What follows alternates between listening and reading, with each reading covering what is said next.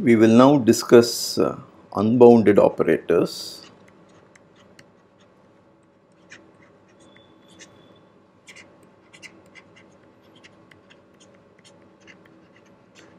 and adjoints.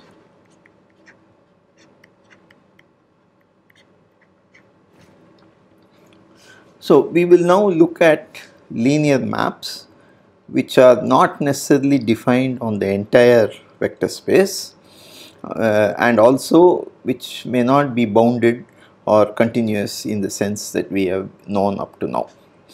The continuous linear operators or bounded linear operators which we have studied so far will come as a subclass of this as a particular case. So, let us uh, have V and W Banach spaces.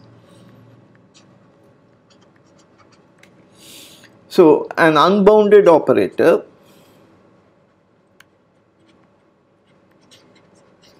linear operator A is a linear map defined on a subspace dA contained in V taking values in W. Okay, so such a map, so it's a linear map, but it uh, it can be defined only on a subspace, not necessarily the entire space. So we say D of A is the domain of A.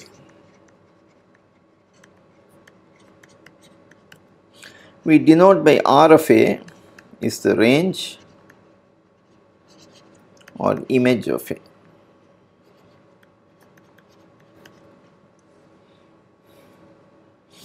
So we say that A is from dA contained in V into W. Okay, so R of A, so this will be contained in V and this will be contained in W. The operator is bounded,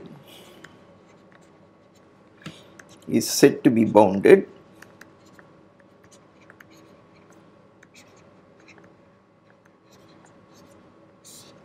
If there exists a C positive such that norm AX in W is less than equal to C times norm X in V. That's the usual condition. Only now we have for every X in dA because that is where the operator is defined. Okay. So, the uh, then okay it is said to be densely defined A is densely defined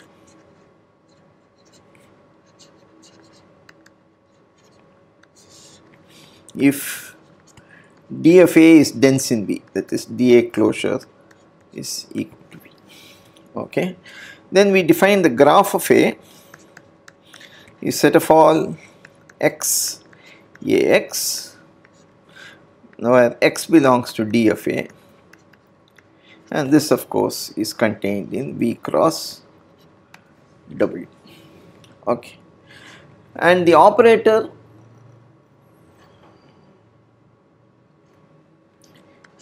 A is closed if GA is closed.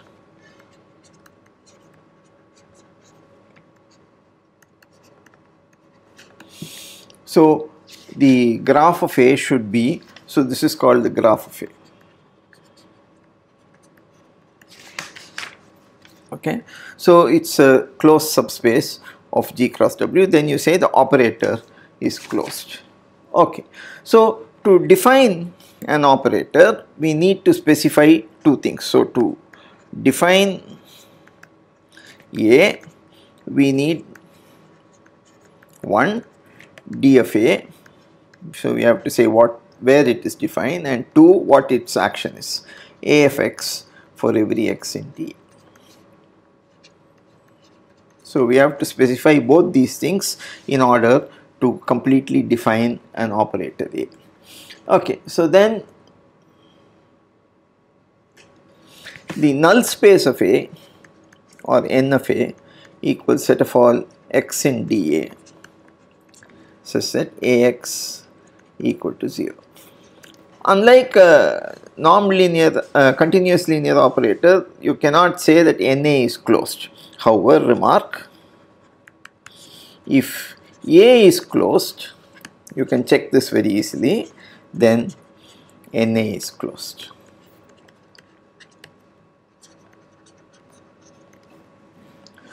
Now all this uh, terminology is a little bit unfortunate. Normally, logically we should have first considered these operators and then considered the continuous linear operators or bounded linear operators which we have been studying hitherto as a subclass. But historically this is how it has been evolving and so we will use this terminology. Henceforth of course I will say continuous linear operator to distinguish between bounded linear operators which may not be defined on the whole space okay. So, uh, for me a continuous linear operator means dA equals V and A is bounded in the usual uh, uh, as we have been studying up to now. Otherwise when I say bounded operator then it may be just defined on dA and not on the whole space. Okay, so let us give an example. Let us take V equals W equals C01 and let us take dA to be C1 of 01 continuously differentiable functions on the closed interval 0 1 and then you define a of u equals u dash which is the first derivative of this. So if a, u is in d of a then you it's a c1 function so its derivative is continuous and that's exactly where we are. Okay, so now first of all A is densely defined because C1 of 0, 01 is dense in C0, 1. in particular you have the Weierstrass approximation theorem. Okay, so then uh, its uh, range is entire W C0, 1 because if you take any continuous function then uh, its indefinite integral is a differentiable function and its derivative is the given function. So by the fundamental theorem of calculus you have so this is nothing but the fundamental theorem of calculus. Okay. Then what is n of a? This is just constant functions. So that is precisely the uh, thing. Now, uh, 4. So suppose what is convergence? So what is the norm here? It's the usual sup norm which is the norm infinity and therefore convergence in this norm means uniform convergence and therefore if you take un converges to u and uh, aun which is un dash converges to B, then we know that is un converges to uniformly and un dash converges uniformly, then we know from real analysis course on uniform convergence that u belongs to C1 and u dash equals V. Okay, and therefore this implies that graph of A is closed, that is A is closed. 5 A is not bounded. We have already seen this that is you cannot have a constant so that does not exist C such that norm u dash is less than or equal to C times norm u. And for this we took the sequence we have already seen this un of t equals t power n. So then uh, norm u in un infinity is always 1, norm un dash, so norm un is always 1, norm un dash is n and therefore you can never have a constant like this because c is a finite number. So this is an example. Okay, so now we are going to make an important definition and for that we need some notation. This is called the duality bracket.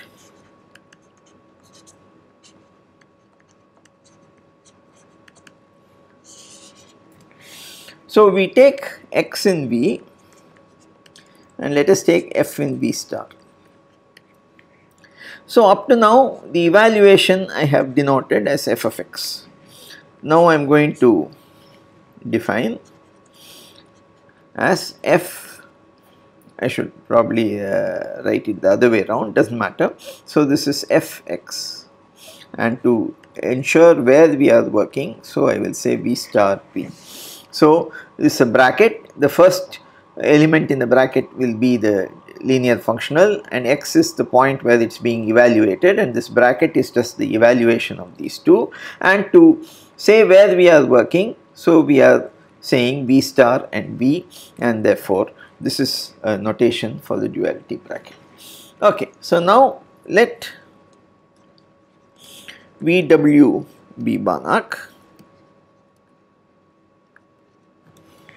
and A from dA contained in V taking values in W a densely defined operator.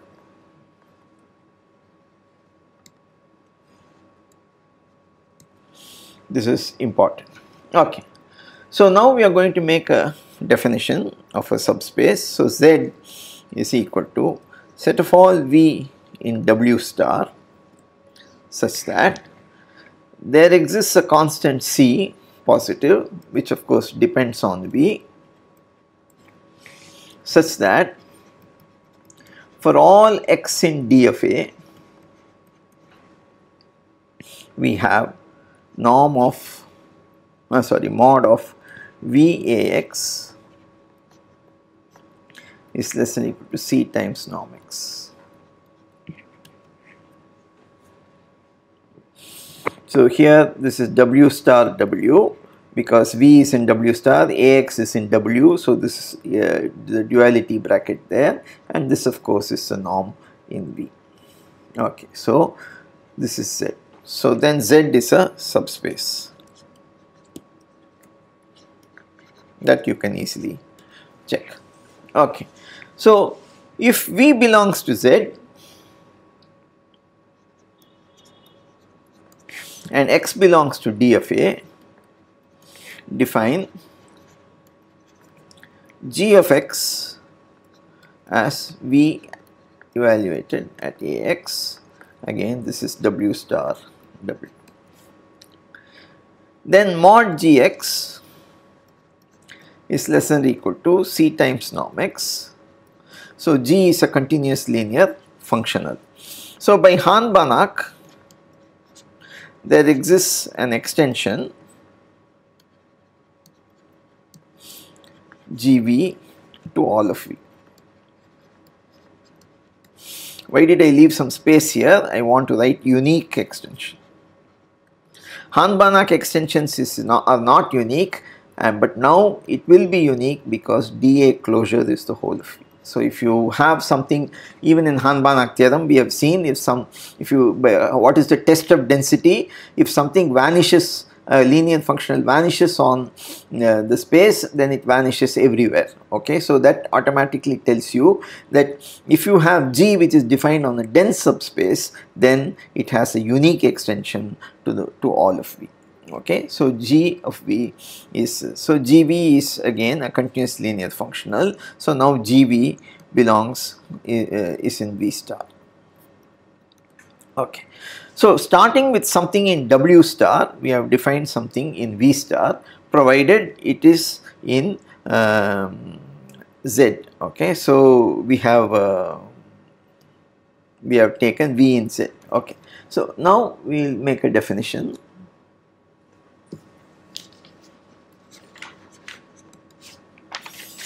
So VW Banach A. From dA in V taking values in W densely defined. Z GV Z as defined above. And for V in Z, GV as defined above.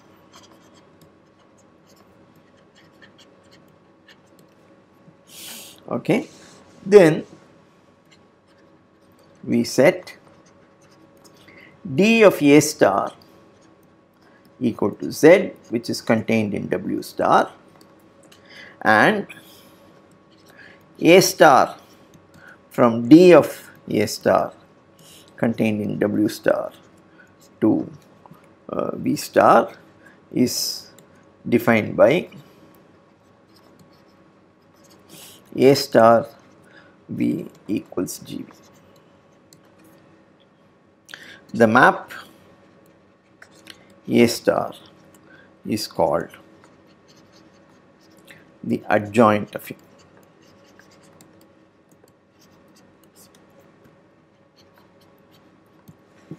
Okay, so this is the uh, so the adjoint is defined for densely uh, defined operators. Of course, A star need not be densely defined, it is defined on Z or dA star which is some subspace. That is all we know, we have no information uh, other than that.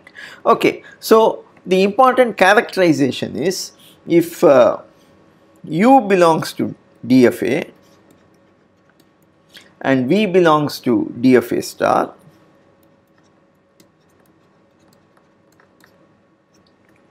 you have from the definition of GV. What is the definition of GV?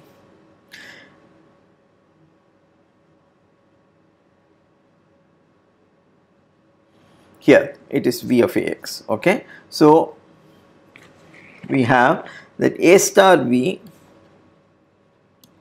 acting on U.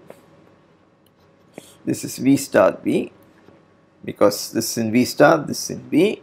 This is nothing but by the definition V acting on AU and this is in W star W. So, this is the fundamental defining relationship for the adjoint and if any map any continuous linear functional in V star defines this relationship then it by, by the density and uniqueness we know that it has to be A star B.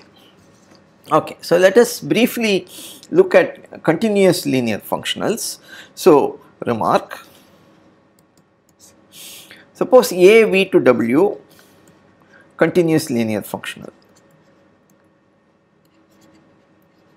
that means dA is all of V and norm of AX is less than or equal to norm A times norm X okay so this we have now you take any V in W star, you have that V AX, this is in uh, W star W modulus is less than or equal to norm V into norm AX which is norm A times norm X.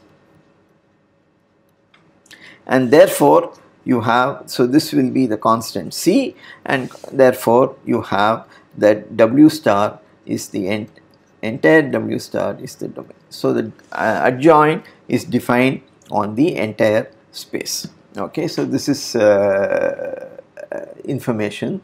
So, if you have continuous linear operators. In fact, we will see a little more about this in a theorem at the end of this uh, session. Okay. So, let us see some examples. So, let us look at finite dimensional spaces. So, in a finite dimensional space all subspaces are closed.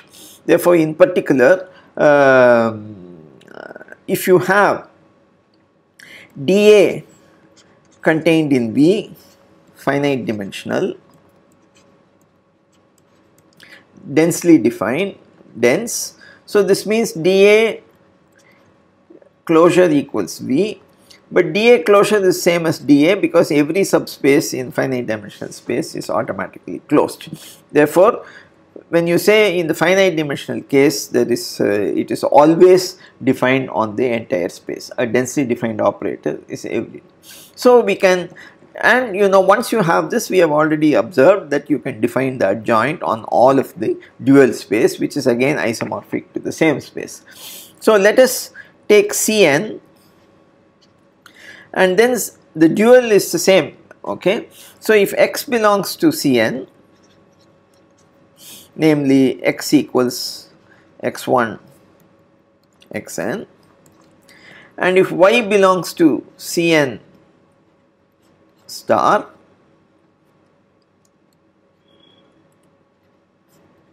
which is also Cn again and y equals y1 yn then you have yx the duality bracket is nothing but sigma i equals 1 to n xi yi uh, conjugate. This is the convention. If you have Rn to Rn then this conjugate not be there it will be just sigma xi yi. Now let A from Cn to Cm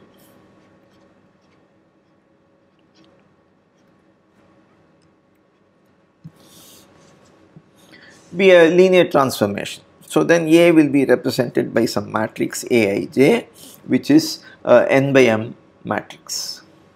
M by n sorry. M rows n columns. Okay. Cn to cm is m by n matrix. So what is a star yx?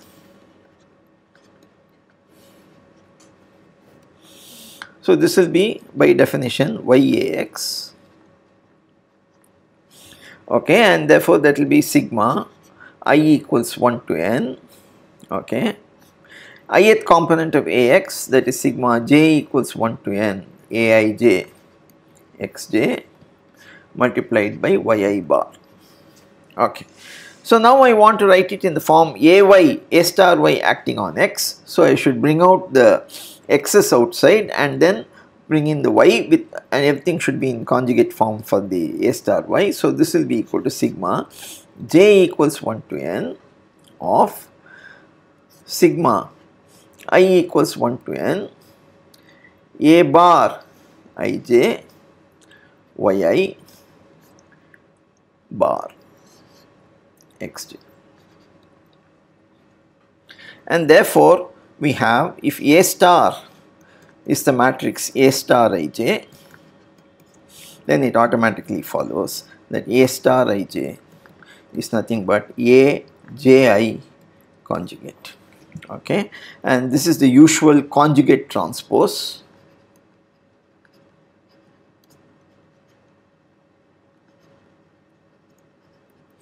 Of the matrix A. So, this is uh, how Uh, the adjoint works. In case of real it is just the usual transpose of the matrix there is no conjugation involved.